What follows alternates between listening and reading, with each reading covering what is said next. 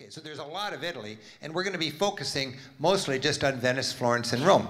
And and uh, boy, you could you could just have a wonderful nine or ten days in that. And, and with our itinerary, we fly into Venice and we fly out of Rome. There's no financial advantage of flying in and out of the same city. If your time's worth anything, you want to fly open jaws into one side and out of the other. You're not going to fly straight from Seattle to Rome. You're going to change in London anyways. You might as well change in London and go to Venice and then fly from London or from Rome back to London and return to Seattle or something like that. We've had so much fun filming our TV shows over the years, and we also have the uh, DVD in our tour promotional package that'll help you better understand our program. And we've got an incredible uh, crew of guides that are going to help make your Italian experience right. Just last year, I was doing my TV work in Rome, and I stumbled into this happy group of people. And when I see a group of travelers with that many smiles, I have a hunch it's one of our groups, okay? And sure enough, it was. And uh, I just love to bump into my tour groups while they're in, in Europe, and uh, I forget who the guide was. But I don't. I just when I'm running around Europe doing my work, invariably I'm bumping into guide our, our tours and seeing what a wonderful job our guides do. Uh, we also have, while we have great guides that do the whole story, we also have guides in each city that oftentimes we will employ just to get a local expert's uh, uh, passion for Rome or Assisi or whatever. This is Francesca. She flew all the way from Rome to be with us today. I was just with her at our party.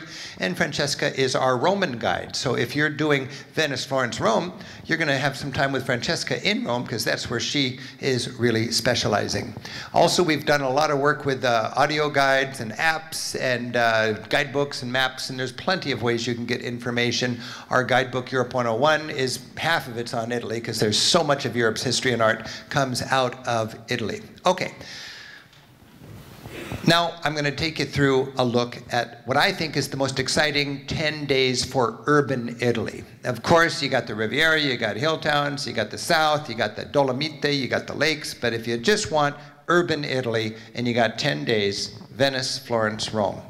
You fly into Venice, it's a three hour train ride or bus ride to Florence and a three hour bus ride to Rome, and then you fly home from Rome. If you uh, want more time and you stay longer, Rome is a great place for a few more days, especially when you remember that Naples is just two hours to the south, and an hour beyond that is Sorrento and the Amalfi Coast, and so on.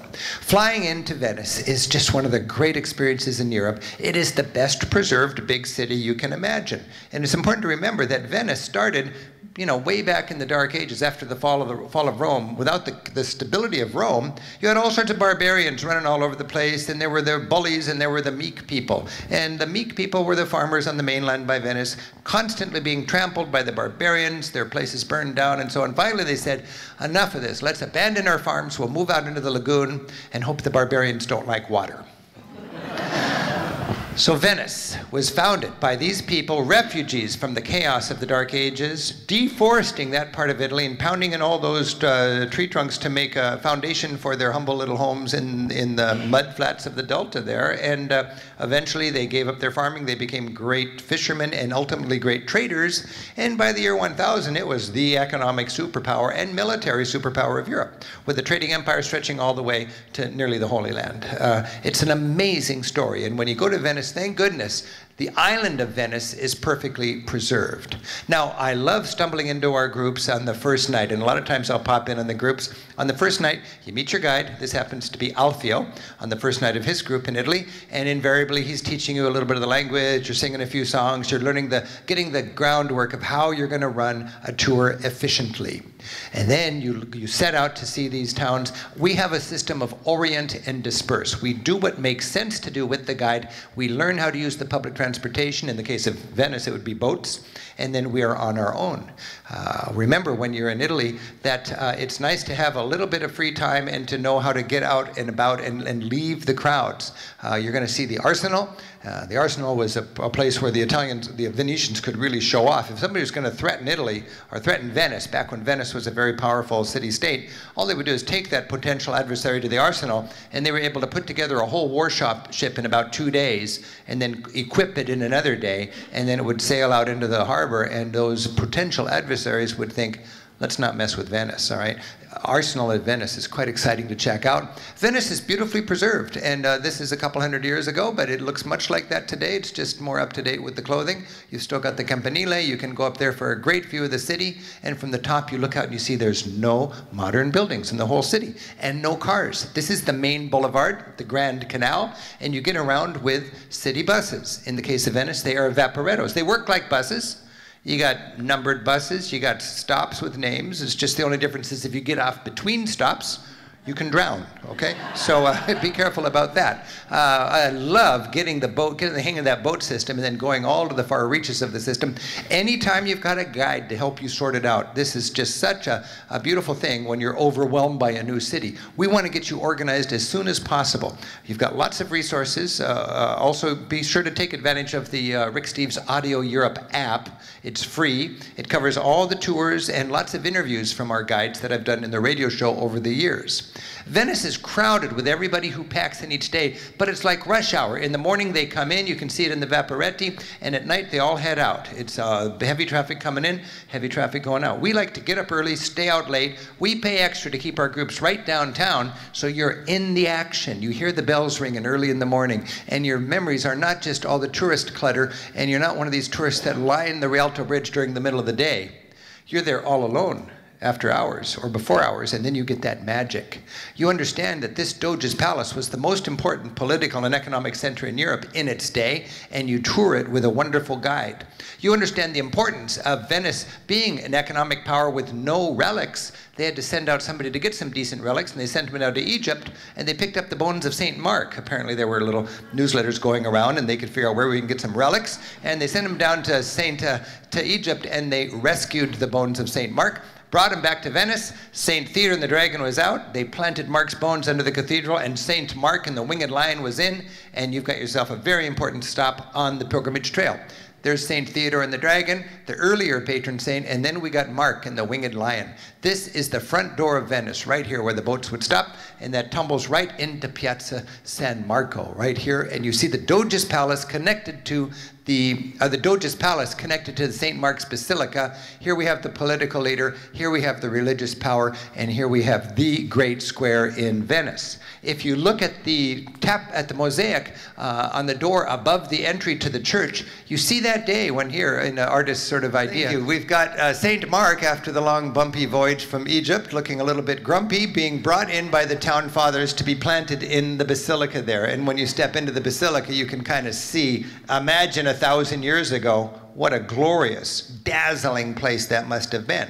With the help of your guide, you'll understand that history. And you've got uh, the, the St. Mark's Basilica uh, filled with plunder of the Venetian Empire. I call this uh, kind of architecture early ransack, okay? You've got, you've got famous columns and capitals and horses from all over uh, the, the Venetian world. Uh, we do the cliches. I mean, if you go to Venice, you got to do glass blowing, you know? And uh, we do it with a meaningful way, but we don't do it tied in with kickbacks and options. You'll see the sales pitch but your guide is on your side and we arrange it so if we do shopping as a group, you get the net price rather than us taking you shopping and then coming back later to get 20% of whatever went into the till. I like art in situ. That means art where the artist painted it. And your guides are enthusiastic about that. And when you're in Venice, the Chiesa di Frari is a beautiful place, the Church of the Brothers, the Chiesa di Frari, because you've got art by the great masters of the Venetian Renaissance right there where they were designed. This is by Titian, Titian the Venetian. uh, another must-do thing in Venice is a, a gondola ride. And uh, with the help of your guides, you know, it's kind of a racket. You pay 90 bucks for 40 minutes in a gondola. You can divide the romance and the price by up to six people, okay? So with our guides, we'll organize it with six of you, and it's 15 bucks each if you'd like to do it. And that's something where it's above and beyond the call of, uh, of the tour, but it's something that you'll probably want to do, and your guide will make sure that you get to do it well. I love the gondola ride when I'm in Venice. This is, by the way, a shot I took in the dead of winter, and it's just really fun to be in Italy in the winter. It's a little cold, but there's none of the crowds, and there's a special sort of magic to Venice, Florence, and Rome in the winter. If you want an affordable gondola, you just take a traghetto. That's one of the gondolas that go across the Grand Canal where there's no bridge. There's only four bridges across the Grand Canal, and there's a long canal. So where there's no bridge and there's a need, you'll have traghettos for just a couple bucks can take you across. But the best way to do Venice is to walk. A lot of people get worried about about getting lost in Venice. Don't be worried about getting lost in Venice. Get as lost as you can and keep reminding yourself, I'm on an island and I can't get off. and when you, when you find yourself around, when you want to find your way, you just look above the crowds and you will see signs pointing to the nearest landmark. And it's very, I mean, here you can see San Marco, either way. I remember when I was a student taking groups around Venice, I would just wander and wander and wander with my little groups, and they'd go, How does he know where he is? And I didn't know where I was. But when I wanted to find my way, I would just look above the crowds, and you'd see a sign pointing you back to this or that famous square.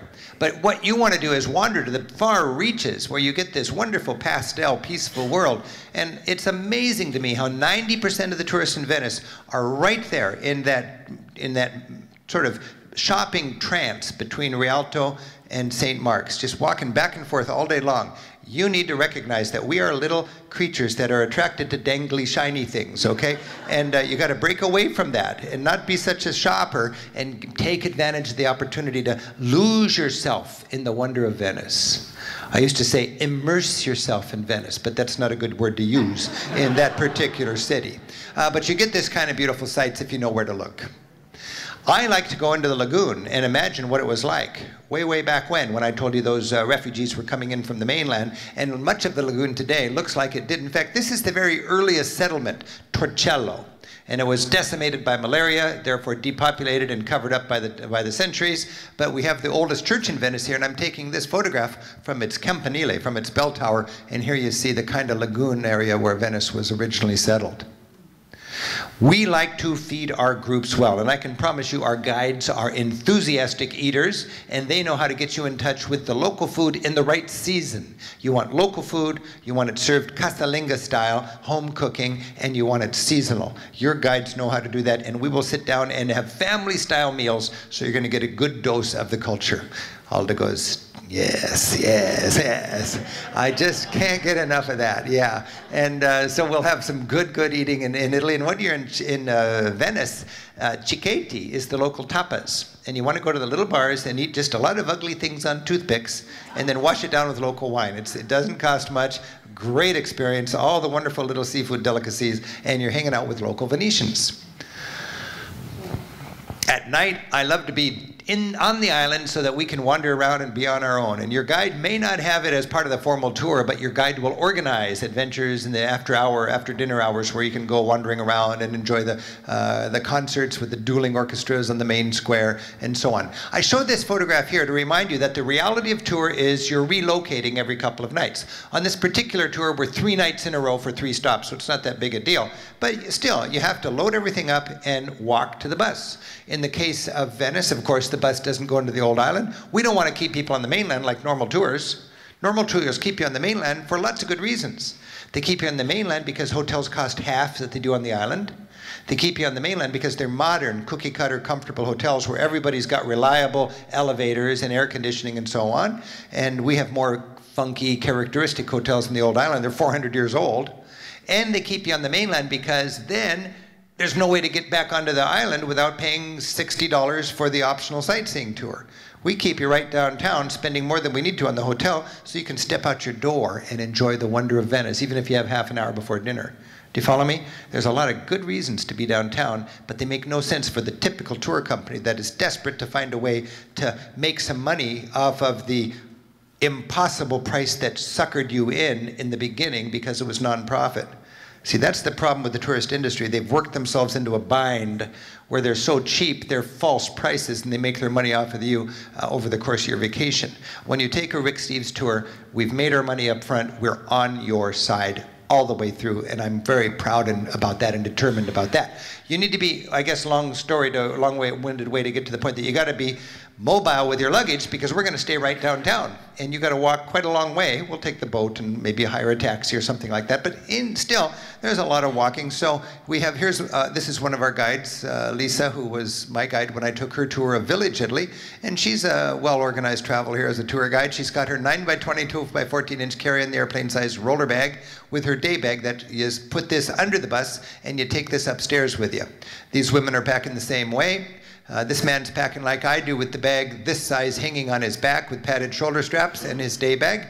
Here's my son Andy, and he doesn't even bother to use the shoulder straps. He's just got his big bag that way. The point is, you got 25 people marching out of the hotel to get to the bus, and you need to be mobile. I've been going back to these hotels now for 1980 was my first book, so literally, you know, 30 years and developing beautiful relationships with these people. This guy's name's Gino, and his mom used to run the hotel. Now she's retired, and he does. And every year I go back and I have a, a I pose with a photograph of my friend, holding the latest book, with last year's photograph holding that year's book, and it just goes back and back and back. Our hoteliers are friends of ours. They know our groups. They work with us, and they know our style. We have beautiful hotels. We have characteristic hotels. A lot of them are simple, but they are really, in this case, Venetian.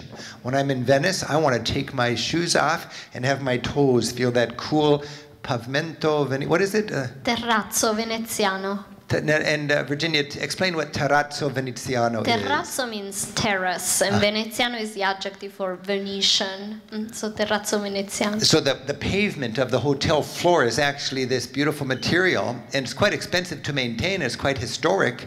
To me, it's evocative of old Venice, and it's designed to flex as the foundations settle with the muddy found, uh, subsoil, and you've got that in the old buildings of Venice. If this hotel is not good enough for you, then you need to go to a different tour. You know, that's kind of what I'm saying. Our hotels are just fine for me. There, uh, a lot of tourist companies would, would think they need something fancier, but we are pretty, uh, pretty committed to our quote characteristic local style mom and pop hotels located right downtown. We will never compromise your safety, cleanliness, or a good night's sleep but you're not going to get swimming pools and fancy restaurants and all sorts of people in uniforms to carry your bags. We're going to Europe through the back door, and that sort of distinguishes us from other tours.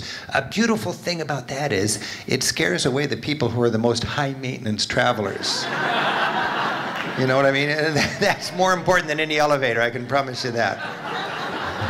Okay, so we go from Venice down to Florence, and when you look at Florence, Oh man, it is so exciting to think this was the epicenter of that cultural explosion called the Renaissance. And within a 15 minute walk of that great dome, the dome of Brunelleschi, Duomo is the Italian word for cathedral.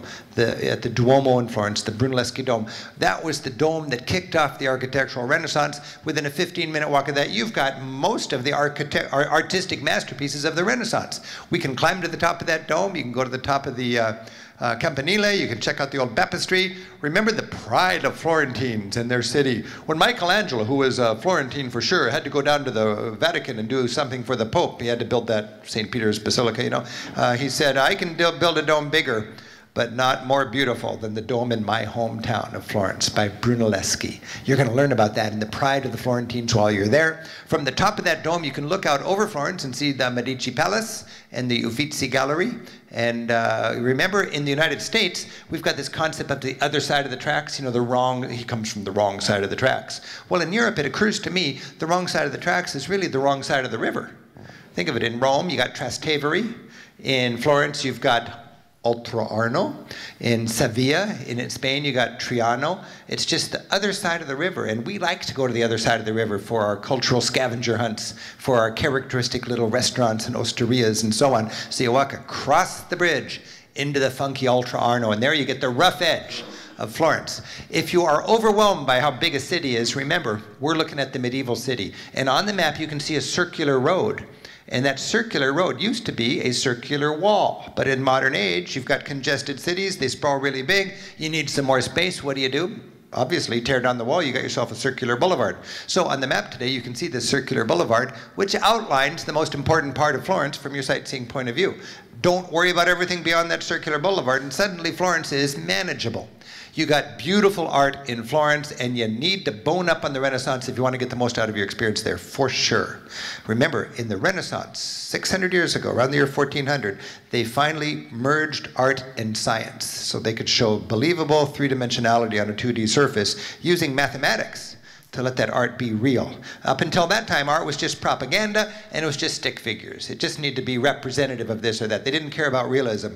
Now, with the Renaissance, it had to be realistic, and we get that in Florence. In Florence, there's a lot of great medieval art, and the beautiful thing is, you can see the medieval art and then contrast it with the Renaissance art. And uh, here we got, for instance, a Michelangelo Pieta. There's a lot of uh, beautiful Michelangelo if you know where to look your guides know where you can find the good art. Of course, this is the Medici Palace, and the original David went right here. This is a copy now. And the Italian word for offices is uffizi. And Uffizi today is the best collection of Italian paintings anywhere. And if you just go there as a regular tourist, you're going to wait in a long line. And uh, it's very frustrating. But we've already made your reservations. And you're going to walk right by all those people following your guide in, who's a licensed local guide. And then you'll be able to see that in first class sort of style with an expert without waiting in line anywhere. Italy is particularly fraught with lines. When you take our tours, you will not wait in lines. That's a very important aspect of the tours. And then you can enjoy the Botticelli with a local expert without being all exhausted and rushed. Beautiful churches, beautiful art in situ, or you can go shopping. we try to make sure you don't get sidetracked with shopping at the expense of seeing actually seeing Michelangelo's David. It's fun to comparison shop for the goofy little plaster models, but I think you should see the original. And there you go. This is David. This is sort of a to me the the ac Accademia is like a, a a church for humanism, and at the center of it is this beautiful body, Michelangelo's David. And when we look at David, we're looking at Renaissance man stepping out of medieval darkness Remember, when you look at David, that hand is bigger than it should be and it's more developed. And when we think about David, with his, David wasn't going to slay the giant. David, this is the hand of God. With his faith and with God's guidance, the shepherd boy can over, overcome the giant in, in evil. Just like Florence could overcome its crude neighboring city states, Pisa, Genoa, and so on. And now, when you look into the eyes of David, you're looking into the eyes of Renaissance man stepping out of medieval darkness, sizing up the darkness and thinking, like David, I can take this guy, okay? Now, when you understand the headiness of the Renaissance, and it's right there in Florence, and then you go see Michelangelo's David, wow, that's a cool experience. And that evening, you can have a nice gelato and go down to the river and let all of that soak in. I love Florence late at night because none of the crowds are out. And the city government actually lets quality musicians have a certain spot all to themselves. And the, it's like little concerts dotting the town for people who want to get out after dinner. Italians are really into good eating, and it's got to be seasonal, it's got to be local. They're into this slow food notion. I mean, we call it slow food and slow organization, but over there, I think it's just their sensibility. It just makes sense to know the farm where the where your cheese came from, and to uh, eat with the season instead of having frozen things that shouldn't be eaten right now at all. I can't. Uh, I just. I, I, just that's my, in Italy. It's my favorite thing of anywhere in Europe. Really, I got to say, eating in Italy. I spend a lot of time researching my guidebooks. I spend every evening looking at restaurants, and at the end of my re restaurant research night, it's 10 o'clock. Restaurants are just locking up. I go into my favorite restaurant of the whole evening, and then I just ask the the, the chef bring me whatever you want me to eat. And it's just glorious. You will have that kind of food magic while you're in Italy with your guides. Look at that beautiful Chianina steak. Oh, baby. He's one happy Italian here. He's got his steak. There's only one way to cook a steak in Italy seven minutes on this side, seven minutes on that side. And then you get it. You can say medium rare. You can say, well, you're going to get it seven plus seven. You'll get it in about 15 minutes after you order it. Bistecca alla Fiorentina. yes, yes, and uh, gelato also is where you're going to cap your meal. So lots of fun with the gelato. Okay, from Florence, we're going to head on down to Rome. Three more hours. Beautiful thing about this tour, 10 days, you've only got six hours in transit, and you get to Rome. And here we have a really a, in a lot of ways, Rome is overwhelming. And we get you situated. You're in one great neighborhood, three nights, two days of organized sightseeing, great guiding, Uh, uh, permissions in advance, so you don't need to wait in lines, and a guide who can help you understand the many dimensions of Rome. Of course, with the seven hills of Rome, you've got that common ground between the seven hills. Mm-hmm. That was the Roman Forum, and that was where the spark of Rome ignited. And if you put it in easy terms, and our guides like to do this, you can say, okay, the story of Rome, rise and fall of Rome, it's a thousand years, from 500 BC to 500 AD. It grows for 500 years, it peaks for 200 years, it falls for 300 years. The first half was the Republic, a little bit idealistic with rich people running a kind of representative government. And the last half was the no, no. it got so big by the time of Christ, uh, it had to be ruled by an iron fisted dictatorship and it became the empire. All right. Of course, that's very simplistic, but that gives you sort of a basis, and then we'll get more deeply into it. But remember, Rome started right there, and it grew to the point where the word Rome no longer meant the city, it meant the entire civilized world. Everything was either Roman or barbarian, people who didn't speak Latin or Greek. And when you walk under that triumphal arch and you see all of this propaganda that made the emperor just like God on earth, and the chained barbarians being brought before the victorious Romans, it's quite easy to get caught up in it if you have a good guide to help explain that. And that's what really turns us on as guides is to sit our groups down on broken rubble of ancient Rome and explain that wonderful, exciting story. Our guides are good at that. And for instance, here is the Basilica Maxentius. And, um, uh, and uh, the Basilica Maxentius or the Basilica of Constantine. It has two different names depending on, they're, they're trying to exactly figure out what it was. But basically, you've got yourself a huge ruin here. And I, for years, looked at that and thought that was big. And then I realized, wait a minute, this is just the side niche. I'm standing on what seems like a vacant lot the size of a football field. And I look up here and I see that little nub. And it occurs to me, my goodness, that is the beginning of an arch that went all the way across this football field. And then you fill it all in and you decorate it with semi-precious stones and fountains and people with togas. It just is mind-blowing. How can we get our brains around the magnificence and the splendor of Rome? That's our challenge when we travel there. I mean, here's the Colosseum, numbered seats, 50,000 seats. They could fill it and empty it as quickly and efficiently as we do our modern stadiums. Now here's a long line of hot, sweaty, bored, frustrated tourists. These are not waiting to get into the Colosseum. They're waiting to have a ticket to get into the Colosseum. Your guide knows how to get a ticket, and you're going to walk right by these people without saying anything too smart aleck and walk right in and enjoy that great sight. And with the help of your guide, you're going to be able to put it together and imagine what it was like 2,000 years ago. And then you're going to go to the Pantheon. And here's a building, again, that gives you a feeling of the grandeur of Rome. You're going to step inside, and you're going to notice that this is really Roman kind of engineering. Uh, per, is very logical. It's based on a circular plan, as exactly as wide as it is tall, 140 feet with a big, beautiful skylight on the top. Oh man, and to learn all the little intimate details of that, and then why it is so well preserved. It's so well preserved in part because it was a temple to all the pagan gods until the Christians took over, and then it became a temple to the martyrs. So it was never had a time when it could just be or a, uh, a church to the martyrs. Uh, it was never uh, cannibalized like so many other great buildings were. You'll see the Pantheon. You'll also notice in Rome, there's almost no buildings, no modern buildings. They're all pre-World War II buildings. There's one modern building I've seen in downtown Rome, and this is the new building that houses the Peace Arch. And when Rome, by the time of Christ, Rome had reached its vast expanse, and the emperor said, okay, We'll call it an empire. Now we'll establish the Roman peace. So they put their big boots on the neck of the downtrodden barbarians and they said, Is everything okay? Ready for stability?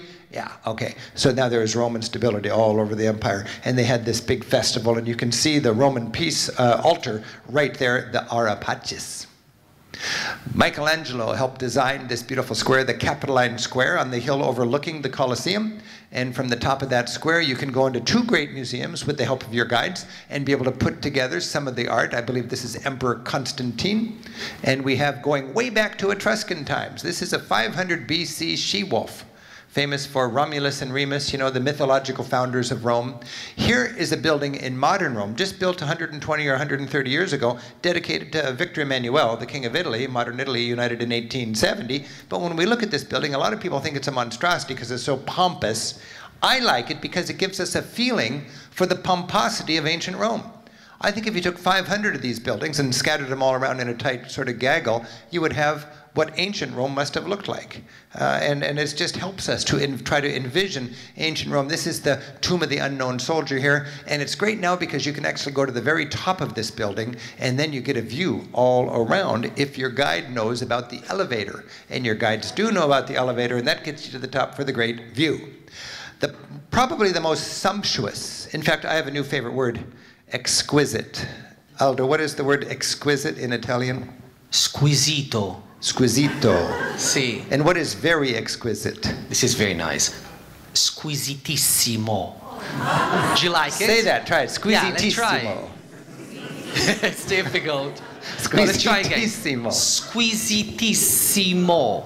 Yeah, so the, uh, the. Galleria Borghese is squisitissimo. Uh, you need a reservation long in advance, and you go in there with a guide, and you've got a chance to see the squisitissimo Bernini statues. This is, Bernini was the father of the Baroque movement, and his greatest art is right here. Every room features an amazing Bernini statue. If you know where to look in Rome, you can find so much great art. Here is Michelangelo's Moses. In a relatively obscure church, the Church of St. Peter's in Chains, just a 10 minute walk above the Roman Colosseum. When you go to the Colosseum, it's nice to know you've got Michelangelo's statue right there. This is Francesca, and she's, uh, as I mentioned, she's visiting us today, and she's one of our local guides that we will work with while we're in Rome. I always find it's interesting how Italians don't go to church a lot unless they almost lose their life in a motorcycle accident, and then they'll, they'll go to church and they'll hang their, their helmet up here, won't they? Huh? Is that interesting or what? yeah, no, that is true. I never thought about it. so here we have a little shrine where people who almost die on their motorcycles go to thank Mary for continued existence. if you like bones, you don't go to the catacombs. There's really no bones in the catacombs. You go to the Capuchin uh, crypt. And there's a beautiful church right in downtown Rome, and downstairs they've hanged the bro- all the, their dead brothers up to dry, and then they decorate with their bones. And that's just a very quirky, uh, fun little insight, and you can visit that while you're in Rome if you like. Uh, any good guide knows it's hot, and the history is overwhelming, and we know to grab the little bit of shade. Here we got uh, in the shade of a, of a, of a like a 4,000 year old obelisk. It's very interesting. Here we are in St. Peter's Square. There's the dome designed by Michelangelo. Uh, oh man, I'd love to just talk more about this, but we don't have time. But uh, it's important to remember St. Peter, who was executed as you know part of halftime entertainment during one of the chariot races there. Um, they didn't have marching bands back then. Um, and uh, this, this obelisk, this uh, Egyptian obelisk, was brought there by the Romans, and that decorated the chariot racecourse where Peter was martyred. So Peter would have seen this, this obelisk on the day he died. And they killed him. And then after the games, everybody goes home, and his followers took Peter's body up to a little hill called the Vatican Hill, and they buried him there. And for 300 years, people worshipped secretly on the tomb of St. Peter. And then in the year 312, Emperor Constantine became a Christian. And suddenly, you could worship on Peter's tomb openly. In fact, Constantine had a huge church built right there, and then only in the uh, around the year 1500 was that church uh, replaced by this even more grand church, the church we have today. These are the kind of understandings you'll take away with you when you're in the care of a good guide, and all of a sudden, all these things you've heard about all your life, it comes together. It comes together, and that's where I really like to employ our guides. Tu es Petrus. You are Peter, and upon this rock I'll build my church. If you see a guide with a big bushy beard and a key, you know that's going to be Peter. Uh, in the winter, we have a lot of uh, Rome tours. We've tried many different cities uh, for one week getaways, and I think one week getaways make a lot of sense, but frankly, a lot of cities just don't sell enough to keep a program going. But the four cities that clearly work from a one week winter getaway or any time of year getaway point of view London, Paris, Istanbul, and Rome. And any time of year, Rome makes a lot of sense. And in the winter, I absolutely love going to Rome in the dead of winter. You got the big manger scene right here on St. Peter's Square. You've got uh, all the Christmas festivities in Rome going until January 6th. Uh, Virginia, can you explain La Befana? Yes, La Befana, it's like the Italian Santa Claus kind of. I always thought when I was a kid that she was the wife of Santa Claus. I don't know why, but she's. Uh, I know. But Italian kids are very lucky because they get presents for Christmas and they also get presents on the 6th of January uh, by the Befana. Befana is also a word when uh, you see somebody that's uh, not really nice and you can say, attractive. not very attractive, so you can say Befana in in Italian. an offense. But it's not an offense. It's actually a nice word. Yeah. I actually So, but- call my mother-in-law like that all the time. So What? You call your mother-in-law La Bufana?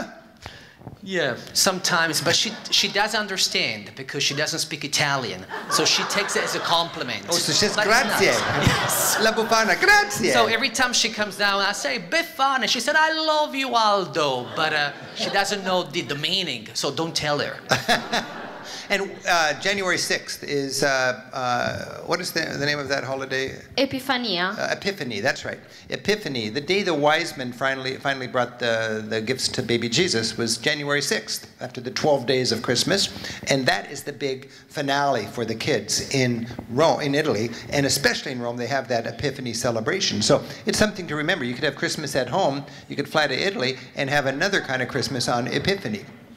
From the top of the Dome of St. Peter's, you look down and you see the little Vatican, the tiniest country in Europe. And you can look also at the great square, Piazza San Pietro, the obelisk that St. Peter saw the day he was martyred, and then the grand boulevard Mussolini made to blast through the medieval quarter so people could see a better view of the great church. Step one of my great treats as a tour guide is to, I've been in the church enough now to, to know what to anticipate, and my reward is to watch the faces of my tourists when they step through that door from the narthex into the grand uh, main sanctuary of St. Peter's Basilica and just swept, oh, just overwhelmed with beauty. It's just awe-inspiring. It's jaw-dropping, literally. You step in there, it's the grandest and biggest church in Christendom. It is uh, the next biggest churches. There's marks on the floor where they would fit if they were put inside. Uh, and uh, it's so big. I mean, birds fly in there not even knowing they're indoors, you know. Um, I've lost entire groups in St. Peter's and not been able to find them. I mean, 25 people, where are they? Uh, and uh, of course, you've got St. Peter's, uh, or you've got uh, Michelangelo's Pietà, and you've got plenty of ways in, to enjoy that. You can wait in line and go up to the top of the dome if you like for a great view. And from the top of the dome, you can look down and see this huge building, which is I, must be one of the biggest museums in the world. This is the Pape, the Vatican Museum. For for 1,500 years, people have been sending the Pope gifts, and the Pope's been out there grabbing up stuff in the old days when they were when they were a power of their own. And today, all that is collected there at the Vatican Museum. I love when one of our guides takes our groups through the Vatican and everybody's having a great time. The Vatican can be exhausting, but our guides know how to make it enjoyable. They know what you need to see, what makes sense, what's important, and how much energy you've got. There's a lot to talk about, and you don't want to spend all your energy before you get to the, the finale, the Sistine uh, chapel with the beautiful ceiling by Michelangelo and then the Last Supper behind the altar, or the Last Judgment behind the altar.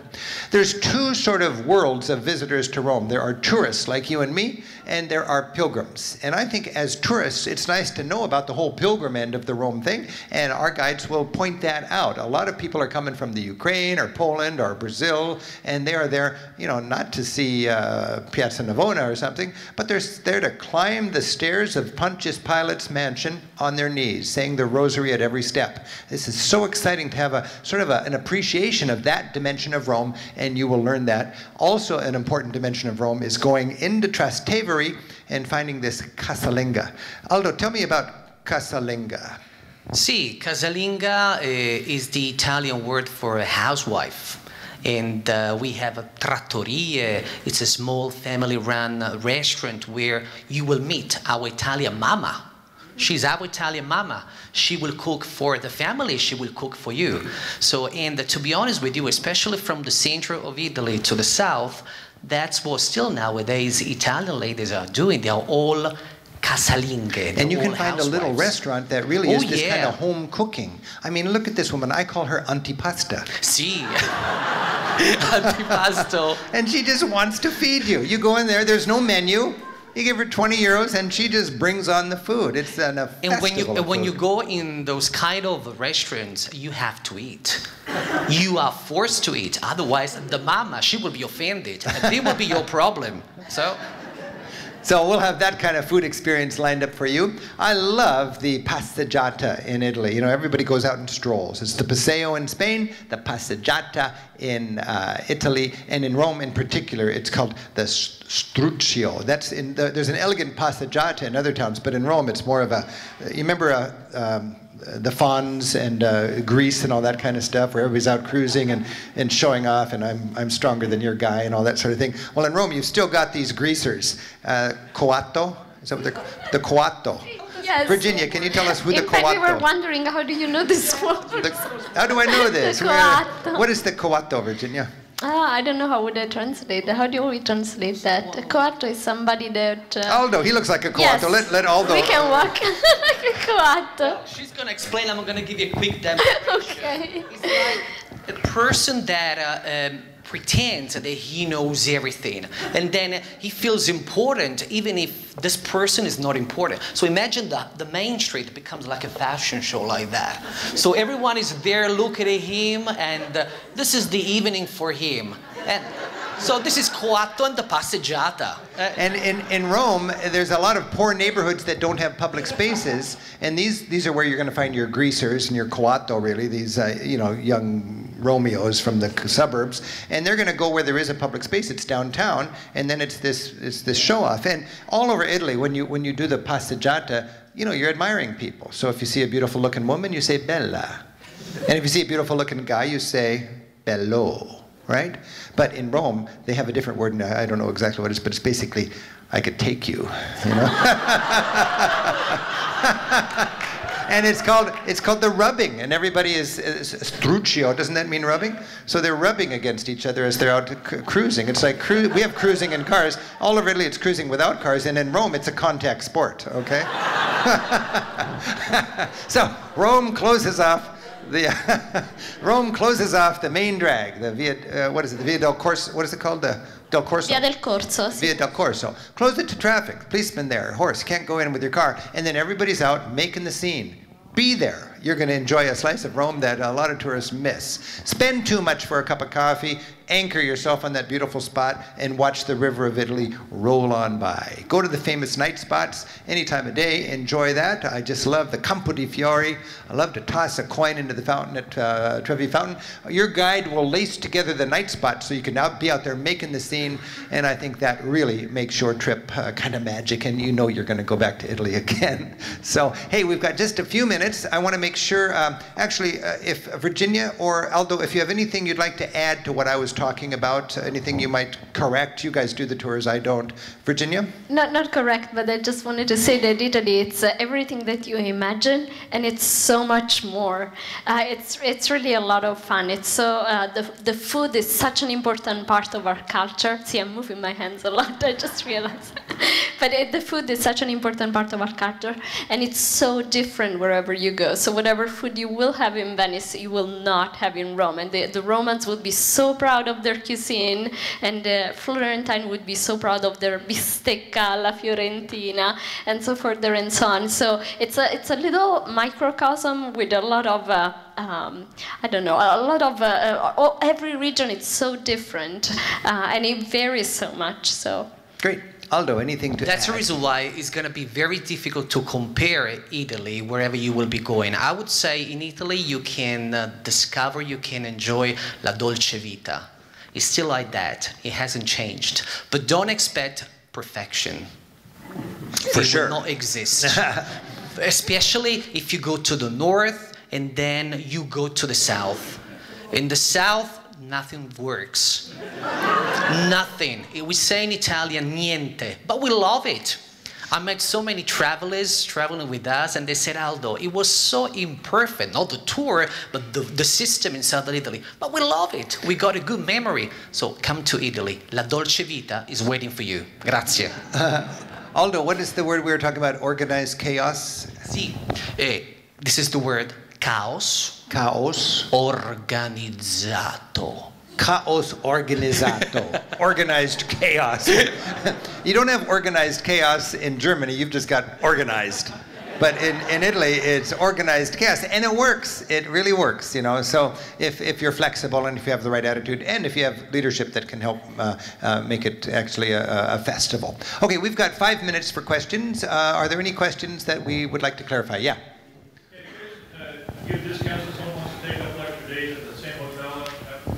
We don't, is, the question is, do we have discounts if somebody wants to stay in the same hotel afterwards? I don't believe we have discounts, but we can make sure that you are treated fairly if you want to, and you can, uh, you'll get information about where you might want to stay. But we don't get discounts for our groups, and we just have to pay the, the going rate, and, and you would too if you stayed longer. But it is nice to be able to book a few extra days after your tour, and you might even want to consider staying in another neighborhood too. So you got that option, and, and our, our staff is very happy to help you out with that. Yeah. We were in uh, Venice 10 years ago, and we had an experience that I think I read about in a publication of yours, in a private supper club with a gentleman who spoke five different languages. He had a little shrine to Frank Sinatra. Yeah. Does this sound familiar? Yeah, I know the place. She's talking. Please tell me. Did you? Was it a good experience? A. Yeah. We're going back next month. Yeah, she went to it. I used to be in my book, and it was a dinner club uh, where a man, you know, in Italy, there's a lot of stuff that goes sort of under the table. And if you're a restaurant without a license, you can't have a name. You don't have any sign. It's just you, you push the buzzer and they let you in, and he cooks for you. And this flamboyant guy, was out in uh, Piazza San Pedro e Paolo uh, at the hospital. And oh, he was the most flamboyant, wonderful guy. And every night there'd be music and singing and many, many courses. And that was one of the magical. Those are the kind of places I try to discover. And that particular place, I think he's in jail now. So no, no, he's not in jail, but he's out of business and, and doing some other scam. But it was a magical place. I remember that well. I really miss him. Any other questions about my Italian friends? Yeah. Uh, yeah. Oh, well, I was hoping uh, that you'd also say a little bit about um, Cinque Terre. Cinque Terre, yeah. Well, the Cinque Terre, um, there you go. That's one of five towns. Can you imagine five towns like that that you can walk to without any traffic? Uh, you go there by train, and it's wonderful. They, they had a flood a year ago, and it destroyed the, all the businesses and most of the businesses in two of the towns. But it's in, they've worked really hard. I've been there twice since, and it's back uh, ready for prime time. And thank goodness the Cinque Terre is back on its feet after that terrible flood. Uh, but it's it's. Um, it's just a magical place. We stop there in, in most of our Italy tours. We don't stop there in our 10 day Venice, Florence, Rome tour. But the Cinque Terre is my vote for the very best stop anywhere on the Riviera. Cinque Terre. You can learn more about that in any of our material in our books. In the back there. You've talked a lot about food. Do you have any provisions on your tours for vegetarians? If you're a vegetarian in Italy, it's quite easy because there's lots of beautiful vegetarian dishes. And what you would want to do is uh, the question is if you're a vegetarian, are you, can you have all this fun? I think, you know, uh, you can have plenty of fun as a vegetarian. Actually, uh, Virginia, why don't you talk about how you would Absolutely, help? It's not a problem at all. I've had veg- many vegetarians on, on uh, the tour, and uh, we just talk to the restaurant, and we make sure you have uh, a nice meal, just like everybody else. So that's a vegetarian. Or you can be an Italian vegetarian. Italian vegetarian eat vegetables and prosciutto. Prosciutto is the exception. I love it. I, I learned something there. An Italian vegetarian. Yes, back there. How would you the weather in October for those three cities compared to, I guess, here or London? Well, how's the weather in those cities? To me, I always say Italy is like Southern California. Uh, so you know it's going to be really hot in May, in April, or I'm sorry, in Ju- July and August. Ideal in April, May, September, October, and I think quite nice in the winter. It can be very cold. I've been bitter cold in Italy, wearing like ski clothes, but I just it's very fresh. And if you're wearing in Europe, they always say there's no bad weather, just inappropriate clothing, you know. Uh, but uh, you know, I, I think. Um, Italy is sort of Southern Californian weather. It's Venice and Florence and Rome are a little bit different, but in, in, a, in, in broad terms, that's what it is. You're talking about November? October. I think October is ideal. Uh, November is a little late. It can be cold, but I think October is very nice. My frustration if I'm in April or October, there's no beach action uh, for my TV filming. So I go to the Amalfi Coast in April and it's dead. But from a sightseeing point of view, a restaurant point of view, a connecting with the museums and the people and the culture, October is just great. Yeah. Is there any place in Rome that you would not take? For safety reasons? Is there any reason, any place in Rome I would not take a group? Um, Virginia? no, I think no. Testaccio used to be kind of uh, edgy, didn't it? Is it? Or where? I think uh, the flea market, you're likely to get pickpocketed. Of course, but I mean, as in every other city in the world, Rome Yeah. it's actually a very, very safe city. Very, Al- very Aldo, safe do you have city. any thoughts on that? Is it? I agree with Virginia. Every Right. city, I guess, in the world that there is pickpockets, so that's fine. Yeah, you need to use common sense, but I I think it's a lot safer than, you know, LA, Chicago, or New York if you were just wandering around at night. Yes. You mentioned the weather in December in Italy. What about Austria, Germany? Are reasons you would not travel to those areas? The question about traveling north of the Alps in the winter, days are short, sites are pretty much locked up in, that are outdoor sites, and it just can be bleak and, and gray and, and drizzly. I mean, you can still go there. I mean, you can have your hot spiced wine and Christmas markets and that sort of thing. There's nothing wrong with it. But I like long days, and I like action in the villages and in the open air folk museums and so on. Uh, if I'm in the winter in Europe, I either like to be in the south or in big cities. If you go to big, lace a bunch of big cities together in the north of Europe, it's great. It's like going to big cities in the United States in the winter. But if you're tooling around in the countryside and taking, you know, wanting to get into that, I think it, it really is less interesting in the winter. And I don't like the short days when I'm traveling. And the, it's a high northern lat- latitude. So you're Alaskan latitudes in some cases, and, and it means it gets dark early. In the back. The city of Odia. How's the city of Olia? How do you spell that? In Sardinia, I don't know Sardinia. I'm sorry. Yeah, it's uh, you know I leave the islands mostly for Italian vacationers. I'm, I'm sure there's reason to go there, but you know we try to do the, the core of Italy where people have less than a month in Italy, and, and Sardinia doesn't make the cut. Yeah. I saw horrible flooding in Venice this winter. Did it get in and damage anything like Frari Church? or- Was there a great the high water. That's what you mean, the, the flooding, the high water in Venice this winter? Any any uh, damage? It was very high. It was uh, uh, much higher than the the the rule, but uh, but uh, but they managed really well. They were prepared. They know they're more frequent in the winter, and the weather may get higher. But they're working on a major project called the Moses, uh, which eventually it's uh, it's actually sixty percent sixty percent finished. Uh, it's a major project that um, uh, like panels in the water that will eventually pop up when there is a, a high water, and they will block the water and saves the city. Europeans are spending a lot of money anticipating higher sea levels. The, the Belgians and the Dutch are spending a lot of money raising their dikes. Uh, of course, Venice has to be concerned about that, as does New York and New Orleans and a lot of places. So let's see what happens. Uh, yeah. How did the foundations hold up in Venice, or did they have to replace it? The foundations in Venice, the wood is fine as long as it's underwater. It, the problem is when it gets exposed to air.